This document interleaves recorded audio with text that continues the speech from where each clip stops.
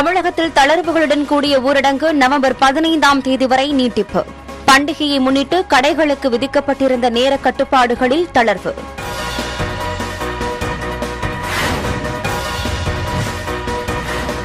ஆறாவது தடுப்பூசி முகாம் மூலம் இருபத்தி ஒரு லட்சத்துக்கும் அதிகமானோருக்கு தடுப்பூசி. சுகாதாரத்துறை செயலாளர் ராதாகிருஷ்ணன் தகவல்.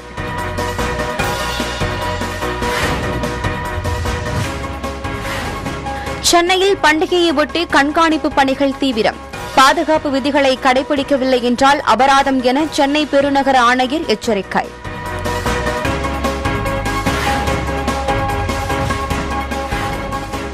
மேற்கு தொடர்ச்சி மலைப்பகுதிகளில் தொடரும் மழை. முல்லை பெரியாறு அணை நீர்மட்டம் நூற்று முப்பத்தி ஆறு அடியை எட்டியது.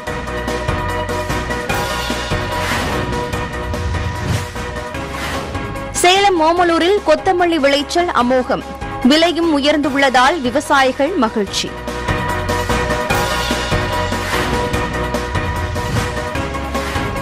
கிருஷ்ணகிரி மாவட்டம் மூத்தங்கரை பகுதியில் பரவும் கோமாரி நோய். மருத்துவர்கள் மற்றும் தடுப்பூசி தட்டுப்பாட்டால் இரண்டு நாட்களில் ஏழு மாடுகள் உயிரிழப்பு.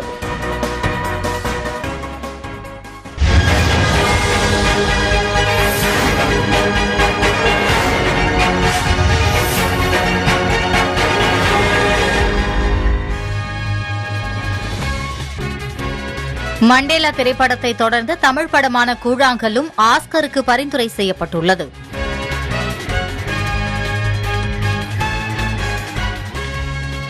கேரளாவில் கொரோனா அச்சத்தால் தள்ளி வைக்கப்பட்ட பதினோராம் வகுப்பு தேர்வுகள் இருபத்தி ஏழாம் தேதி நடைபெறவுள்ளதாக அம்மாநில முதலமைச்சர் பினராயி விஜயன் தெரிவித்துள்ளார்.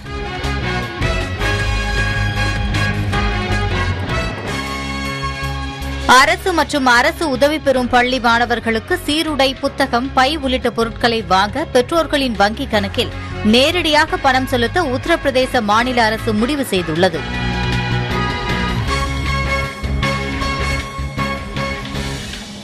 குழந்தைகளுக்கான கொரோனா தடுப்பு மருந்து தயார் என பாரத் பயோடெக் நிறுவனம் அறிவித்துள்ளது.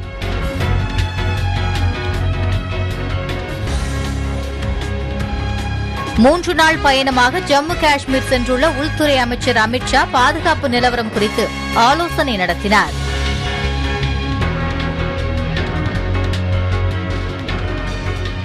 நாக்பூரில் பன்னோக்கு சரக்கு போக்குவரத்து தொழில் பூங்கா அமைப்பதற்கான புரிந்துணர்வு ஒப்பந்தம் கையெழுத்தானது.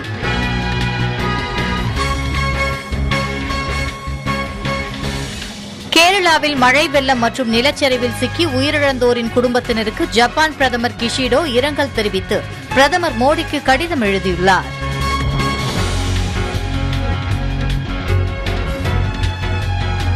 இடுக்கன் வருங்கால் நகுக என்ற திருக்குறளை மேற்கோள் காட்டி முன்களப் பணியாளர்களுக்கு பிரதமர் மோடி வாழ்த்து தெரிவித்துள்ளார்.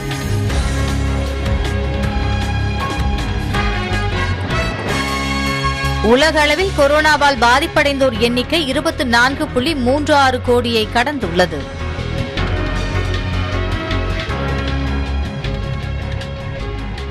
தென்னாப்பிரிக்க அணிக்கு எதிரான முதல் டி டுவெண்டி உலகக்கோப்பை ஆட்டத்தில் ஆஸ்திரேலிய அணி ஐந்து விக்கெட் வித்தியாசத்தில் போராடி வெற்றி பெற்றது.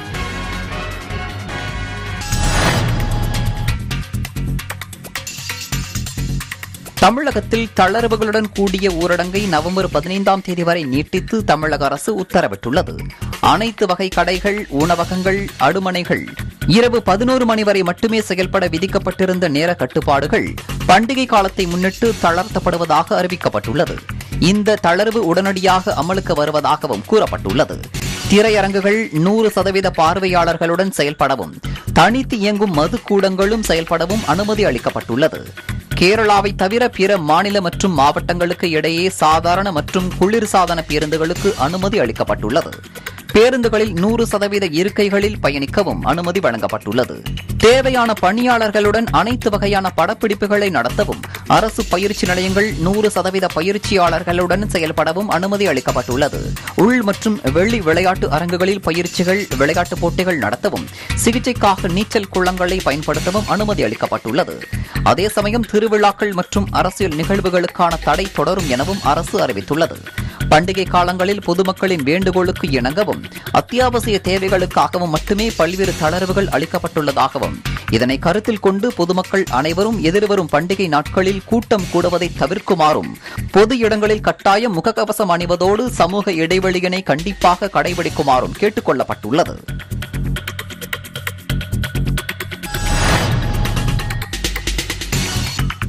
தீபாவளி பண்டிகை காலத்தில் பட்டாசால் ஏற்படும் தீக்காயங்களுக்கு சிகிச்சை அளிக்க அனைத்து மருத்துவமனைகளிலும் குறைந்தது பத்து படுக்கைகள் கொண்ட தீக்காய பிரிவு தயார் செய்யப்பட்டுள்ளதாக சுகாதாரத்துறை செயலாளர் ராதாகிருஷ்ணன் தெரிவித்துள்ளார்.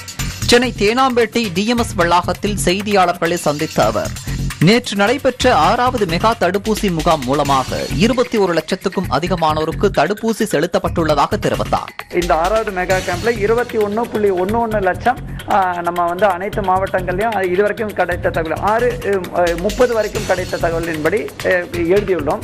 இரண்டாம் தவணை தடுப்பூசி செலுத்துவது தொடர்ந்து சவாலாக உள்ளதாக கூறிய ராதாகிருஷ்ணன் ஐம்பத்தி ஒரு லட்சம் பேர் இன்னும் இரண்டாம் தவணை போட வேண்டியுள்ளது என்றும் தெரிவித்தார். நீங்க பார்க்கும்பொழுது சென்னையில ஒன்று புள்ளி ஏழு லட்சமும் கோயம்புத்தூரில் ஒன்று புள்ளி ஒன்று ரெண்டு லட்சமும். குறிப்பாக திருச்சினாப்பள்ளி கடலூர் தஞ்சாவூர் விழுப்புரம் பொன் விழுப்புரம் தூத்துக்குடி திருப்பூர் போன்ற மாவட்டத்தில் சுமார் எண்பதாயிரம் ரேஞ்சுக்கு வந்திருக்கு. தடுப்பூசி. தீபாவளி பண்டிகை காலத்தில் பட்டாசு வெடிக்கும் போது ஏற்படும் தீக்காயங்களுக்கு சிகிச்சை அளிக்க அனைத்து மருத்துவமனைகளிலும் குறைந்தது பத்து படுக்கைகள் கொண்ட தீக்காய பிரிவு தயார் செய்யப்பட்டுள்ளதாக தெரிவித்த அவர். எல்லோரும் ஒரே நேரத்தில் கூடுவதை தவிர்த்து பொதுமக்களும் கவனமாக இருக்க வேண்டும் என கேட்டுக்கொண்டார்.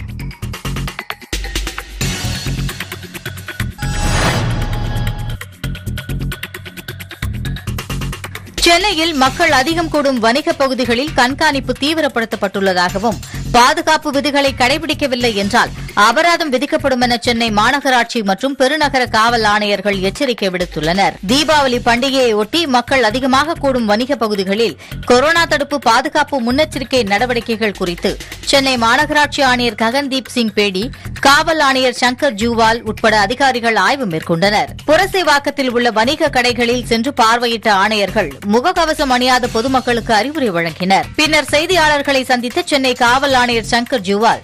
பண்டிகை காலத்தை முன்னிட்டு மக்கள் அதிகம் கூடும் இடங்களிலும் அனைத்து முக்கிய பகுதிகளிலும் கண்காணிப்பு கோபுரங்கள் அமைக்கவும் ட்ரோன்கள் மூலமும் கண்காணிப்பு பணிகளை மேற்கொள்ளவும் திட்டமிடப்பட்டுள்ளதாக தெரிவித்தார். எல்லா இடத்தில் ஸ்பெஷல் என்ஃபோர்ஸ்மெண்ட் அது மட்டும் கிடையாது. டி நகர் எங்க கூட இருக்கு. பொருசை எம்சி எல்லா இடத்தில் ஒரு குறிப்பிட்ட முக்கியமான என்னன்னா வாட்ச் டவர் போட போறோம். பப்ளிக் அட்ரஸ் சிஸ்டம் வைக்க போறோம். அடிஷனல் ஸ்ட்ரென்த் வைக்க போறோம். இங்க தேவைப்பட்ட ட்ரோன்ஸ் வச்சுட்டு ஒரு நம்ம கண்காணிப்பை வைக்க போறோம். அடிஷனல் ஸ்ட்ரென்த்ல அதுல ஒரு குறிப்பிட்ட டீம் முக்தில போட்டு மாஸ் கம்ப்ளைண்ட்ல பாக்குறத வைக்க போறோம். சில கிரைம் ஜாஸ்தி ஆகும் சில இடத்தில் இந்த நேரத்துக்கு. அந்த கிரைம் டீம் முக்தி போட்டுட்டு புதுசா சாஃப்ட்வேர் வச்சிருக்கோம் எஃப்ஆர்எஸ் பேர்ல அதாவது ஃபேஸ் ரெகக்னிஷன் சாஃப்ட்வேர் அறுநூறு சப் இன்ஸ்பெக்டர் இன்ஸ்பெக்டர் டவுன்லோட் பண்ணி வச்சிருக்காங்க. அதை யூஸ் பண்ண போறோம் இந்த பண்டிகை சீசன்ல நம்ம. வருஷ வருஷம் பண்றோம். தவிர கூடி கூடுதல் மெத்தட் எடுத்துட்டு இருக்கோம். தொடர்ந்து பேசிய மாநகராட்சி ஆணையர் ககன்தீப் சிங் பேடி காவல்துறை மற்றும் மாநகராட்சி சேர்ந்து சென்னையில் உள்ள ஒவ்வொரு மண்டலங்களிலும் ஒரு குழு என பதினைந்து குழுக்கள் கண்காணித்து வருவதாக தெரிவித்தார். ஃபர்ஸ்ட் வந்து ஏற்கனவே மாநகராட்சி மற்றும் காவல்துறையோட பதினஞ்சு ஜோன்ஸ்ல பல் பல்வேறு அதிகாரிகள் அமைச்சிட்டு பதினஞ்சு டீம் ஏற்கனவே தற்பொழுது இருக்கின்றன. ஆனால் இப்போ போக போக தீபாவளி அருகில் இந்த டீம்ஸ் வந்து டபுள் ஆக்குதா வந்து ஒரு முடிவு எடுக்கப்பட்டு அது மக்களுடைய மாஸ்க் என்ஃபோர்ஸ்மெண்ட் ட்ரைவ் பார்த்துட்டு அது அது சம்பந்தமாக முடிவு எடுக்கப்படும். ஆனால் எங்களுடைய மெசேஜ் இன்னைக்கு மெசேஜ் என்ன? நாங்கள் வந்து எவ்வளோ டீம்ஸ் போட்டாலும் கூட மக்கள் மத்தியிலே அவேர்னஸ் வரலனா எத்தனை டீம் போட்டால் அது பத்தாது.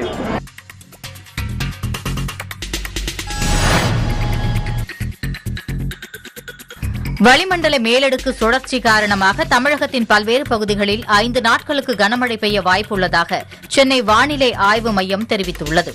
சேலம் மதுரை ஈரோடு கிருஷ்ணகிரி வேலூர் புதுக்கோட்டை மாவட்டங்களில் இடி மின்னலுடன் கூடிய கனமழை பெய்ய வாய்ப்புள்ளதாகவும் ஏனைய மாவட்டங்கள் மற்றும் புதுவை காரைக்கால் பகுதிகளில் இடி மின்னலுடன் கூடிய லேசான மழை பெய்ய வாய்ப்புள்ளதாகவும் தெரிவிக்கப்பட்டுள்ளது. சென்னையை பொறுத்தவரை நகரின் ஒரு சில இடங்களில் இடி மின்னலுடன் கூடிய லேசானது முதல் மிதமானது வரையிலான மழை பெய்ய வாய்ப்புள்ளதாக வானிலை ஆய்வு மையம் தெரிவித்துள்ளது. அதேபோல மன்னார் வளைகுடா தமிழக கடலோர பகுதிகள் மற்றும் தென்மேற்கு வங்கக்கடல் பகுதிகளில் மணிக்கு நாற்பது முதல் ஐம்பது கிலோமீட்டர் வேகத்தில் காற்று வீசக்கூடும் என்பதால் மீனவர்கள் இந்த பகுதிக்கு செல்ல வேண்டாம் என சென்னை வானிலை ஆய்வு மையம் தெரிவித்துள்ளது. வளிமண்டல மேலடுக்கு சுழற்சி காரணமாக தமிழகத்தின் பல்வேறு பகுதிகளில் இடி மின்னலுடன் கனமழை பெய்தது. விருதுநகர் மாவட்டம் அருப்புக்கோட்டை பாளையம்பட்டி ராமசாமிபுரம் ஆத்திப்பட்டி காந்திநகர் உள்ளிட்ட சுற்று வட்டார பகுதிகளில் இடி மின்னலுடன் சுமார் அரை மணி நேரத்திற்கும் மேலாக பரவலாக மழை பெய்தது. இதேபோல் பழனி மற்றும் சுற்றுவட்டார பகுதிகளில் பெய்த கனமழை காரணமாக சாலைகளில் நீர் பெருக்கெடுத்து ஓடியது. மழையின் காரணமாக குடிநீர் தேவைக்கும் விவசாய தேவைக்கும் தண்ணீர் கிடைக்கும் என்பதால் பொதுமக்கள் மகிழ்ச்சியடைந்துள்ளனா் நாகை மாவட்டம் வேதாரண்யம் நெய்விளக்கு குரவப்புலம் கத்திரிப்புலம் கரியாப்பட்டினம் மருதூர் மற்றும் சுற்றுவட்டார பகுதிகளில் பரவலாக மழை பெய்தது. இதனால் சம்பா சாகுபடி செய்து வரும் விவசாயிகள் மகிழ்ச்சியடைந்தனா்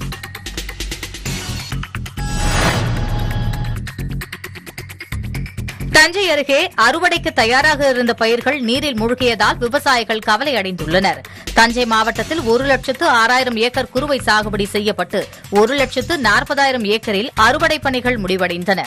ஆனால் தொடர் மழை காரணமாக பதினைந்தாயிரம் ஏக்கரில் மழைநீர் தேங்கியுள்ளதால் அறுவடை செய்ய முடியாமல் விவசாயிகள் தவிக்கின்றனர். புத்தூர் பகுதியில் அறுவடைக்கு தயாராக இருந்த ஆறு ஏக்கர் நிலம் பத்து நாட்களுக்கு மேலாக நீரில் மூழ்கி அறுவடை இயந்திரம் கூட செல்ல முடியாத சூழலில் உள்ளதால் விவசாயிகள் பெரும் பாதிப்படைந்துள்ளனர்.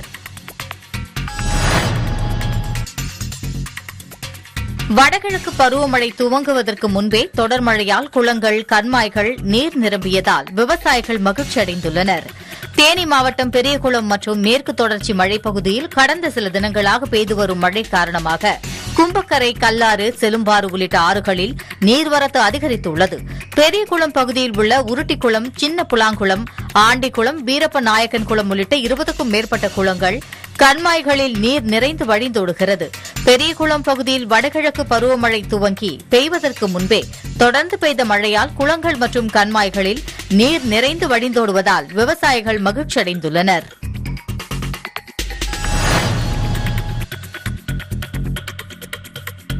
முல்லைப்பெரியாறு அணையின் முக்கிய நீர்பிடிப்பு பகுதிகளான கேரள மாநிலம் இடுக்கி மாவட்டத்தில் தொடரும் மழையால் அணையின் நீர்மட்டம் நூற்று முப்பத்தி ஆறு அடியை எட்டியுள்ளது. இதையடுத்து அணை நீர் கேரளாவிற்குள் உபரி நீர் திறக்கும் அணையின் பதிமூன்று மதகுகளை தொட்டது. இந்நிலையில் தமிழக பொதுப்பணித்துறை சார்பில் இடுக்கி மாவட்ட நிர்வாகத்திற்கு முதற்கட்ட எச்சரிக்கை விடுக்கப்பட்டுள்ளது. கடந்த ஒரு வாரமாக முல்லைப் பெரியாறு அணையின் முக்கிய நீர்பிடிப்பு பகுதிகளான கேரள மாநிலம் இடுக்கி மாவட்டத்தின் மற்றும் அதனை ஒட்டிய குமுளி தேக்கடியில் கனமழை தொடர்கிறது. தற்போது மழை சற்றே குறைந்திருந்தாலும் வினாடிக்கு மூவாயிரத்து ஐம்பது கன அடி என்ற கணிசமான நீர்வரத்தால் அணை நீர்மட்டம் நூற்று முப்பத்தாறு அடியாக உயர்ந்துள்ளது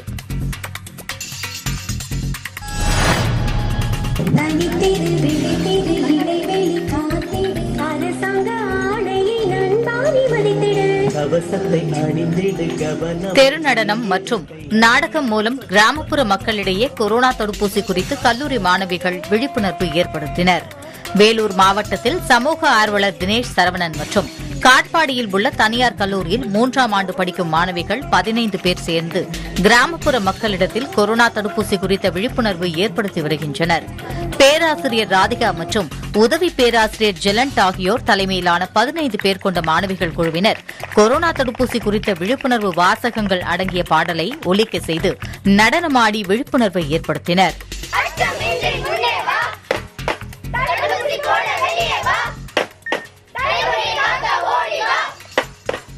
மேலும் ஒரு குடும்பத்தில் கொரோனா தடுப்பூசி செலுத்திக் கொள்வதில் ஏற்படும் நன்மை தீமைகள் அதற்காக குடும்பத்தில் நடக்கும் வாக்குவாதத்தையும் தத்ரூபமாக நடித்து காண்பித்து விழிப்புணர்வு ஏற்படுத்தினர்.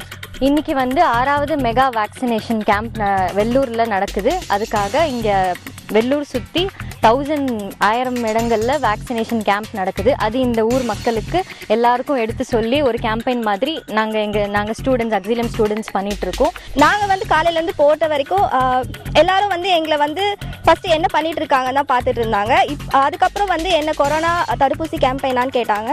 எப்படி போடணும் அப்படின்றத கூட கேட்டிருந்தாங்க. எங்களுக்கு வந்து ஒரு நம்பிக்கை இருக்குது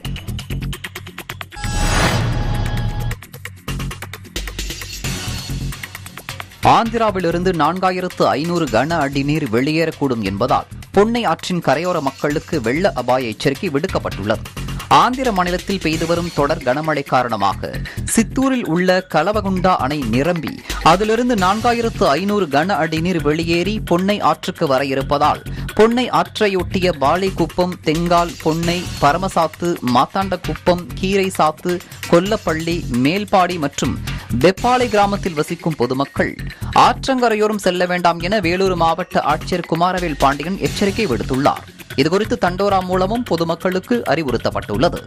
மேலும் முன்னெச்சரிக்கை நடவடிக்கைகளை மேற்கொள்ள அரசு துறை அதிகாரிகள் அனைவரும் தயார் நிலையில் இருக்க வேண்டும் என்றும் அறிவுறுத்தியுள்ளார்.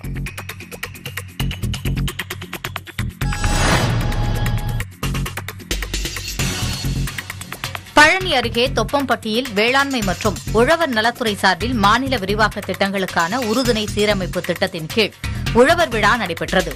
உணவு மற்றும் உணவுப் பொருள் வழங்கல் அமைச்சர் சக்கரபாணி தலைமையில் நடைபெற்ற இந்த விழாவில் விவசாயிகளுக்கு வேளாண்மை சார்ந்த புதிய தொழில்நுட்ப விளக்கங்களை வேளாண் தொழில்நுட்ப வல்லுநர்கள் வழங்கினர்.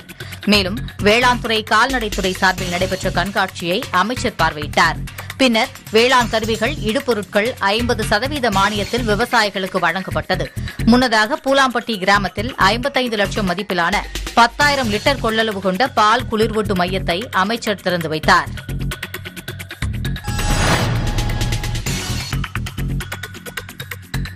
நீலகிரி மாவட்டத்தில் தோடர் கோத்தர் இருளர் காட்டு நாயக்கன் குறும்பர் பணியர் உள்ளிட்ட பழங்குடி மக்கள் வாழ்ந்து வருகின்றனர். இவர்களில் தோடர்கள் பயன்படுத்தும் சால்வைகள் பனியன்கள் உள்ளிட்டவை வெம்மை ஆடைகளில் பதியப்படும் பூ வேலைப்பாடு உலக பிரசித்தி பெற்றது. இதன் காரணமாக இதற்கு புவிசார் குறியீடு வழங்கப்பட்டுள்ளது. இந்நிலையில் தோடர் அல்லாத சில தனியார் அமைப்பினர் தோடர்களின் சால்வை மற்றும் பனியன் உள்ளிட்ட வெம்மை ஆடைகளில் பாரம்பரிய பூ வேலைப்பாடுகளை செய்து வருவதால் தங்களது வாழ்வாதாரம் பாதிக்கப்படுவதாகவும் இதுகுறித்து மாவட்ட நிர்வாகம் மற்றும் காவல் கண்காணிப்பாளரிடம் புகார் மனு கொடுத்தும் நடவடிக்கை எடுக்கவில்லை என குற்றம் சாட்டியுள்ளனர். எனவே உடனடியாக நடவடிக்கை எடுக்கவில்லை என்றால் தோடர் இன மக்கள் பல்வேறு போராட்டங்களில் ஈடுபட உள்ளதாக தெரிவித்துள்ளனர். நான் எங்களோட எங்களுக்கு இப்போ என்ன பிரச்சனைன்னு பார்த்தீங்களா எங்கள் இனத்தவர் இல்லாமல் மற்றவங்களும் நாங்கள் செய்கிற உலக பிரசித்தி பெற்ற எங்கள் பூ வேலைகளை அவங்களும் சேர்ந்து வராங்க. அதனால வந்து எங்களோட வேலை பாடுதல் எல்லாம் கெடுது எங்களோட வியாபாரம் எல்லாம் இல்லாமல் போயிடுச்சு எங்கள் வாழ்வாதாரமே இப்போ பாதிச்சுட்டு இருக்குது. அவங்க எங்ககிட்ட வாங்கி விற்பனை செஞ்சால் கூட எங்களுக்கு ஒரு லாபம் கொடுப்பாங்க. அது இல்லாமல் அவங்க வந்து தோட இனத்தார் இல்லாமல் மற்ற பெண்களை வச்சு அந்த வேலை செய்யறதுனால எங்களை ரொம்ப பாதிப்பாயிட்டு இருக்குது இதை ஒரு சட்ட நடவடிக்கை எடுக்கணும்னு சொல்லி போயிருக்காங்க. நாங்கள் வந்து ஜியாகிரபிக்கல் இண்டிகேஷனுங்கிறதுல வந்து நூற்றி முப்பத்தஞ்சு சட்டத்தின்படி எங்க இனத்தை ஆண்கள் செஞ்சால் கூட சட்டப்படி குற்றம் போட்டிருக்காங்க. அது தெரிஞ்சு கூட அவங்க வந்து மற்ற பெண்களுக்கு சொல்லி கொடுத்து அவங்க வாழ்வாதாரம் பெருக்கிட்டு போயிட்டு இருக்காங்க நாங்க இருக்கிறது கொஞ்சம் பேர் தான். எங்களுக்கு வாழ்வாதாரம் இதுதான்.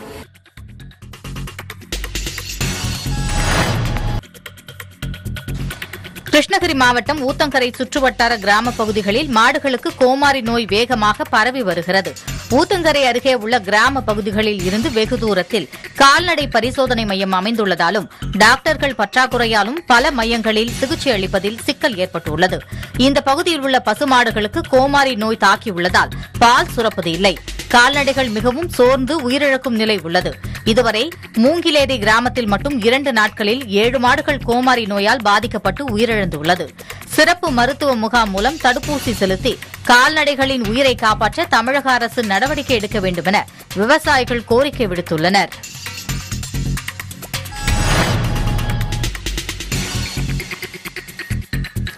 சேலம் மாவட்டம் ஓமலூர் காடையம்பட்டி தாரமங்கலம் ஆகிய வட்டார கிராமங்களில் விவசாயிகள் மற்றும் விவசாய கூலி தொழிலாளர்கள் ஆடு மாடு எருமைகளை வளர்த்து வருகின்றனா் மேலும் விவசாயிகள் பலரும் கறவை மாடுகளை வளர்த்து பால் வியாபாரம் செய்து வருகின்றனர். இந்த நிலையில் தற்போது வடகிழக்கு பருவமழை காலம் துவங்கியுள்ளதால் கால்நடைகளை தாக்கும் நோய்கள் வராமல் தடுக்கும் வகையில் ஓமலூர் வட்டார கால்நடை மருத்துவர்கள் ஆலோசனைகளை வழங்கியுள்ளனர். அதில் அதிக மழை பெய்யும் காலங்களில் கறவை மாடுகள் எருமைகள் செம்மறி ஆடுகள் மற்றும் வெள்ளாடுகளை அடைப்பான் நோய் தாக்கும் என்றும் மழைக்காலங்களில் புதிதாக முளைத்த புற்களை மேயும் போது கிருமிகள் பரவி குடலில் எப்சிலான் எனும் நச்சுத்தன்மை உருவாகி துள்ளுமாறி நோயால் ஆடுகள் ஏற்பட வாய்ப்பு இருப்பதாக கூறினர்.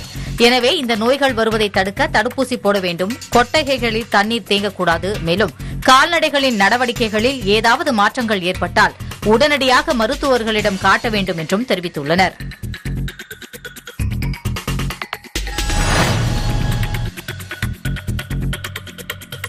சேலம் மாவட்டம் ஓமலூர் வட்டார கிராமங்களில் விளைவித்த கொத்தமல்லி கீரை நல்ல விளைச்சலால் விலையும் உயர்ந்துள்ளதால் விவசாயிகள் மகிழ்ச்சியடைந்துள்ளனர். தொடர்ந்து அந்த பகுதிகளில் மழை பெய்ததால் கொத்தமல்லி கீரை அதிக அளவில் சாகுபடி செய்யப்பட்டு வருகிறது. ஒரு கட்டு கொத்தமல்லி கீரை பத்து ரூபாய் முதல் பதினைந்து ரூபாய் வரை விற்பனையாகி வந்த நிலையில் தற்போது இருபத்தைந்து ரூபாய்க்கு விற்பனையாகி வருவதால் கொத்தமல்லி சாகுபடி செய்த விவசாயிகள் மகிழ்ச்சியில் உள்ளனர்.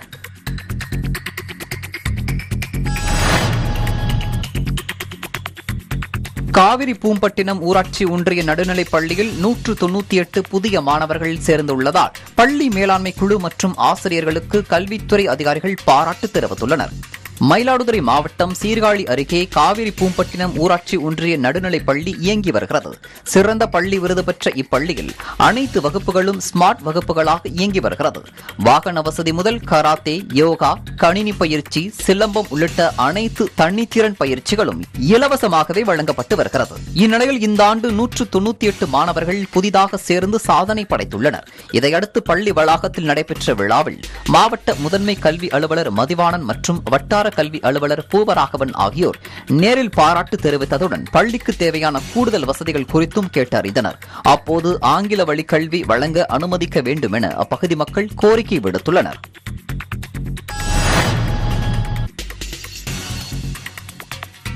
புதுக்கோட்டை ஆயுதப்படை மைதானத்தில் நடைபெற்ற போலீசார் மற்றும் பொதுமக்களுக்கு இடையிலான நல்லுறவு விளையாட்டுப் போட்டிகளில் வெற்றி பெற்ற அணிகளுக்கு மாவட்ட காவல்துறை கண்காணிப்பாளர் பரிசு கோப்பைகளை வழங்கினார். புதுக்கோட்டை ஆயுதப்படை மைதானத்தில் காவல்துறையினர் தீயணைப்புத் துறையினர் மற்றும் பொதுமக்கள் ஆகியோர் பங்கேற்ற நல்லுறவு விளையாட்டுப் போட்டிகள் நடைபெற்றது. இதில் கைப்பந்து மற்றும் கபடி போட்டிகள் நடத்தப்பட்டன. இதில் பொதுமக்கள் சார்பில் பங்கேற்ற அணியினரும் தீயணைப்பு வீரர்கள் பங்கேற்ற அணியினரும் காவல்துறையினர் பங்கேற்ற அணியினரும் குழுவாக கலந்து கொண்டு விளையாடினர். இதில் வெற்றி பெற்ற வீரர்களுக்கு மாவட்ட காவல்துறை கண்காணிப்பாளர் நிஷா பார்த்திபன் பரிசு கோப்பைகள் மற்றும் பாராட்டு சான்றிதழ்களை வழங்கினார்.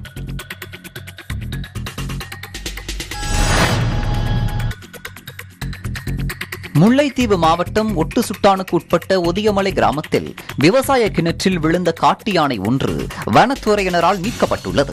இலங்கை முல்லைத்தீவு மாவட்டம் ஒட்டு சுட்டானுக்கு உட்பட்ட ஒதியமலை பகுதியில் இருபது அடி ஆழம் கொண்ட விவசாய கிணற்றில் காட்டு யானை ஒன்று விழுந்துள்ளது. இதனை கண்ட விவசாயி ஒருவர் கிராம அதிகாரிக்கு தகவல் கொடுத்துள்ளார். இதனைத் தொடர்ந்து சம்பவ இடத்திற்கு சென்ற முல்லைத்தீவு மாவட்ட வனத்துறை அதிகாரிகள் கனரக இயந்திரங்கள் கொண்டு யானையை கிணற்றில் இருந்து மீட்டு வனத்துக்குள் அனுப்பி வைத்தனர்.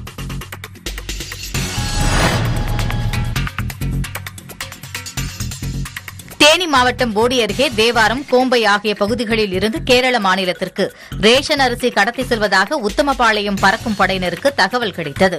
இதையடுத்து தேவாரம் பகுதியில் வாகன தணிக்கையில் பறக்கும் படையினர் ஈடுபட்டுக் கொண்டிருந்த பொழுது மினி லாரி ஒன்றை சோதனையிட்டனர்.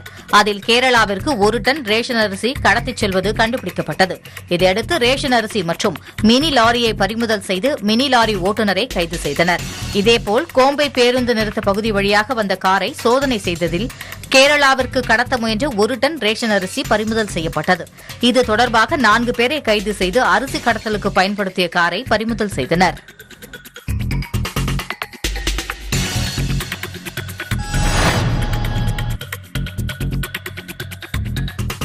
திருவண்ணாமலை மாவட்டம் ஆரணி நகரில் பழைய பேருந்து நிலையம் அருகே கட்டப்பட்டு வரும் வணிக வளாகத்தில் ஆற்று மணலை கொண்டு கட்டிட பணிகள் நடந்து வருவதாக திருவண்ணாமலை மாவட்ட ஆட்சியர் முருகேஷுக்கு புகார்கள் வந்துள்ளன.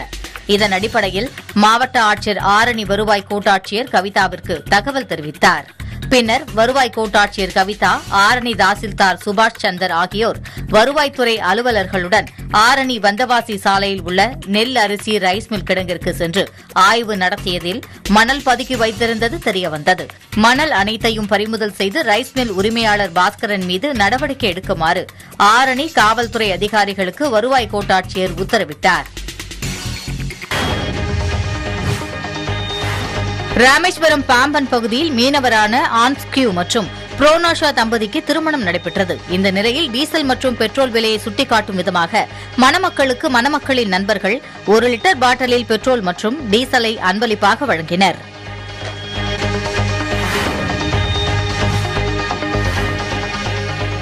கிருஷ்ணகிரி மாவட்டம் சுண்டகாப்பட்டி பெருமாளப்பன் வேடியப்பன் மற்றும் பட்டாளம்மன் சுவாமிகள் பவனி விருது நிகழ்ச்சி நடைபெற்றது. சுண்டகாப்பட்டி கிராமத்திலிருந்து புளியம்பட்டி திருவயலூர் வழியாக போச்சம்பள்ளி நான்கு வழிச்சாலையிலிருந்து போச்சம்பள்ளி முழுவதும் மூன்று டிராக்டர்கள் மூலம் பவனி வந்தனர். வழியெங்கும் பெண்கள் தேங்காய் பூ பழம் கொடுத்து வழிபட்டனர்.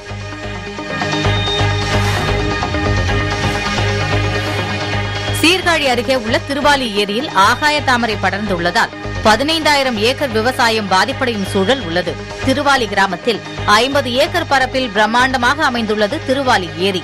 இந்த ஏரி தண்ணீரை பயன்படுத்தி ஐந்தாயிரம் ஏக்கர் நேரடி சாகுபடியும் பத்தாயிரம் ஏக்கர் கிளை வாய்க்கால் மூலமும் சாகுபடி செய்யப்பட்டு வருகிறது. மேலும் இந்த ஏரி குடிநீர் ஆதாரமாகவும் உள்ளது.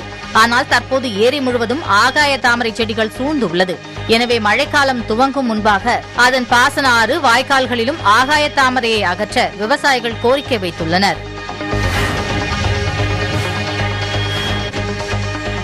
திருவள்ளூர் மாவட்டம் பூவிருந்தவள்ளியில் தனியார் பள்ளி வாகனங்களில் ஆர்டிஓ நடத்திய ஆய்வில் விதிமுறைகள் பின்பற்றப்படாத வாகனங்கள் திருப்பி அனுப்பப்பட்டன. படிப்படியாக கல்வி நிறுவனங்கள் செயல்பட தமிழக அரசு அனுமதி வழங்கியுள்ளது.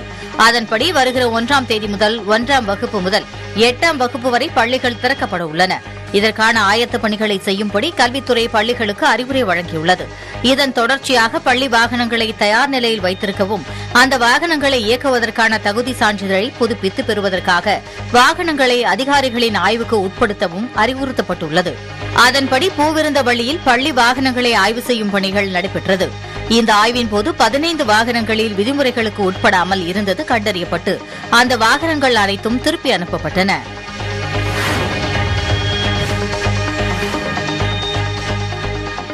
திருப்பூர் முழுமை திட்ட எல்லை விரிவாக்கம் குறித்த கருத்து கேட்பு கூட்டம் முதன்மை செயலர் தலைமையில் மாவட்ட ஆட்சியர் அலுவலகத்தில் நடைபெற்றது.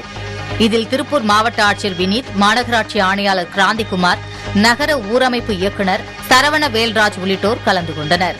இதில் திருப்பூர் மாவட்டத்தில் மேம்படுத்த வேண்டிய பணிகள் போக்குவரத்து நெரிசலை குறைப்பதற்காக சாலை விரிவாக்க பணிகள் உள்ளிட்டவை குறித்து விவாதிக்கப்பட்டது. இந்த கருத்து கேட்பு கூட்டத்தில் திருப்பூர் மாவட்டத்தைச் சேர்ந்த பல்வேறு தொழில் அமைப்புகள் அரசியல் கட்சிகள் தன்னார்வ தொண்டு நிறுவனங்களின் பிரதிநிதிகள் கலந்து கொண்டு பல்வேறு ஆலோசனைகளை வழங்கினர்.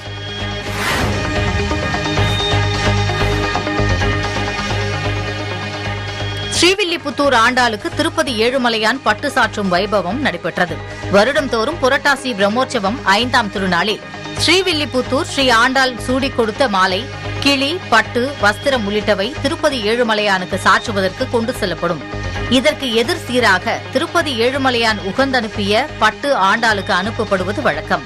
இந்த நிலையில் பட்டு வஸ்திரத்தை ஆண்டாளுக்கு சாற்றும் வைபவம் நடைபெற்றது. கோவில் வளாகத்தில் அமைந்துள்ள குரடு மண்டபத்தில் ஸ்ரீ ரங்கமன்னாருடன் எழுந்தருளிய ஆண்டாளுக்கு பட்டு சாற்றப்பட்டு சிறப்பு பூஜைகள் நடைபெற்றது.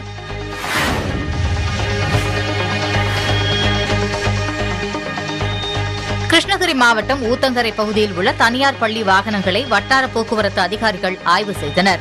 ஊத்தங்கரை அதியமான் பப்ளிக் பள்ளி அருகில் இந்த ஆய்வு மேற்கொள்ளப்பட்டது. இந்த ஆய்வில் இருநூற்று தொன்னூறு பள்ளி வாகனங்கள் ஆய்வு மேற்கொள்ளப்பட்டது.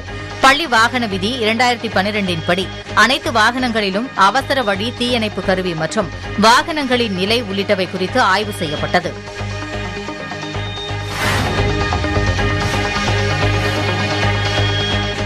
மாவட்டம் சின்னமனூர் பகுதியில் கஞ்சா விற்பனை நடைபெற்று வருவதாக போலீசாருக்கு தகவல் கிடைத்தது.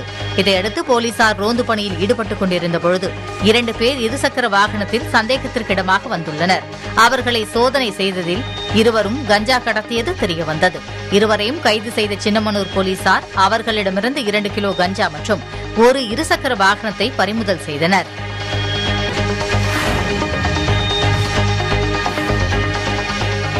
நாமக்கல் மாவட்டம் குமாரபாளையத்தில் பள்ளிப்பாளையம் செல்லும் சாலையில் கனரா வங்கியின் ஏடிஎம் செயல்பட்டு வருகிறது.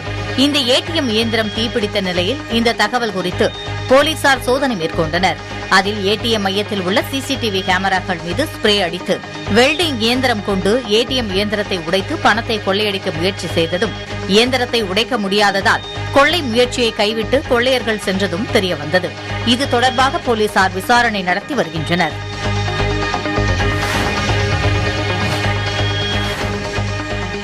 கடலூர் அருகே புறவழிச்சாலையில் உள்ள பாலத்தில் ஏற்பட்ட திடீர் பள்ளத்தால் மக்கள் அதிர்ச்சியடைந்தனர். கடலூர் மாவட்டம் விருத்தாசலம் நகர பகுதியில் வாகன நெரிசலை கட்டுப்படுத்துவதற்காக கடலூர் சாலையிலிருந்து உளுந்தூர்பேட்டை சாலைக்கு செல்ல புறவழிச்சாலை விரிவுபடுத்தப்பட்டது. இந்த பணியில் காட்டுக்கூடலூர் சாலை அருகே புறவழிச்சாலையில் உள்ள சிறு பாலத்தில் திடீரென பள்ளம் ஏற்பட்டது. இதனால் நூற்றுக்கணக்கான வாகனங்கள் புறவழிச்சாலையை பயன்படுத்த முடியாமல் அவதியடைந்து வருகின்றனர். தரம் இல்லாமல் பாலம் அமைத்தவர்கள் மீது நடவடிக்கை எடுக்க பொதுமக்கள் கோரிக்கை வைத்துள்ளனர்